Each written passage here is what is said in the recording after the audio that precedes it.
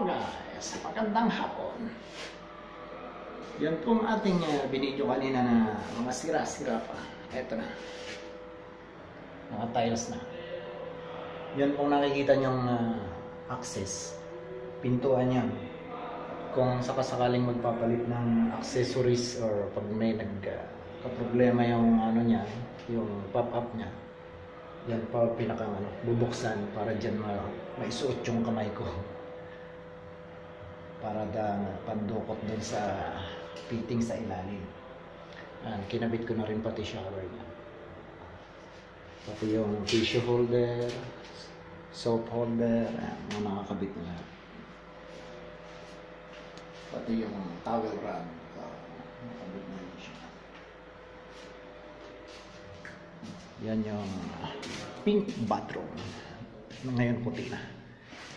Ito naman yung uh, beads bathroom. Ayan. Naka-tiles na. Kompleto na. Kinabit ko na rin yung shower. Uh, shower holder. Pati soap holder. Uh, tissue holder. Uh, towel rod. Kompleto na siya. So, ang kulang ko na lang dyan. Gaya din po yan yan. Meron tayong pintuan. Kung sakasakaling magkakaproblema sa ilalim, merong access, hindi na kailangan basagin yung ano, basagin yung tiles. Gaya ng dati, binasag ko lahat kasi walang access. Ngayon, ang kulang ko na lang ay uh, iniduro. O WC. Kulang pa. Yung blue bathroom, naka-tiles na rin. Pero hindi ko pa nakakabitan ng shower. Kasi na-late siyang matapos. Ito yung blue bathroom. Hindi ko pa siya nakakabitan ng shower. Tuloy, ito na yung shower.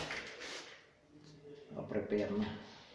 Saka yung wash basin, hindi, hindi dumating. Ayan din yung gamit niya. Uh, bottle trap na sa ilalim.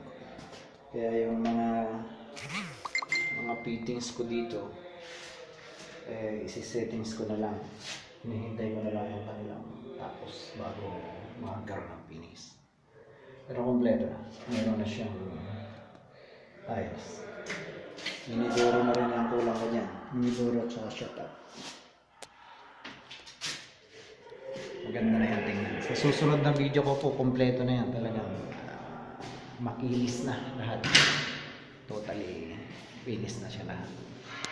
Kaya hanggang sa susunod na video ah, makikita niyan lahat ng kabuuan niya kung paano siya na finish lahat pero papakita ko rin sa inyo kung paano igabit yung wash basin para magkaroon naman ng yung may mga gusto may kabit na wash basin sa kanilang bahay. Simple na lang kung makikita rin ako yung idea kung paano yan po ang aking mga inidoro ng kakabit. Yung tatlo na yan. Yan yung WC ko. Yung mga kalat namin eh, hindi pa rin totally talaga nakiklean. Kaya, andyan pa rin lahat. Mga inidoro ko ikakabit. Nahuli po kasing magkabit yung mga maso ng tiles, mag-repair ng tiles. Kailangan tuyuin ko muna yan bago ko i-drill. Pag kasi ngayon, pag dinrill ko yun, aangat yung tiles nila. So, panibagong trabaho na naman. Kailangan hintayin ko talaga.